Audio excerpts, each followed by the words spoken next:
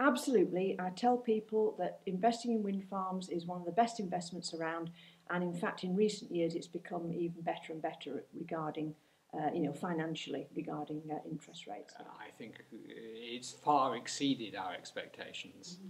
Mm-hmm. Um, I mean, Baywind was the first, and as I said, we weren't even sure we'd get our money back.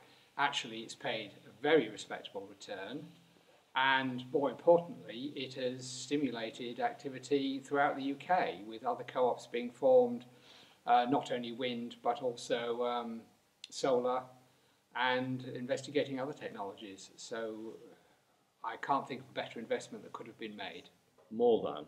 Uh, in fact, it's one of the few areas of investment that I've put my mother's money that has returned a sensible amount in relation to her outgoing expenses well, I didn't go into it in order to make money, though it does in fact give a very good return, especially compared with present day bank um, interests. Absolutely.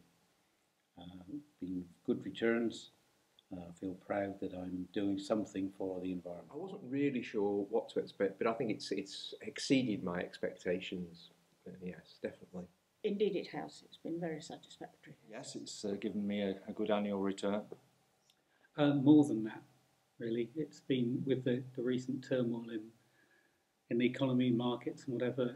Uh, it's just been very reassuring that Baywind has performed so consistently.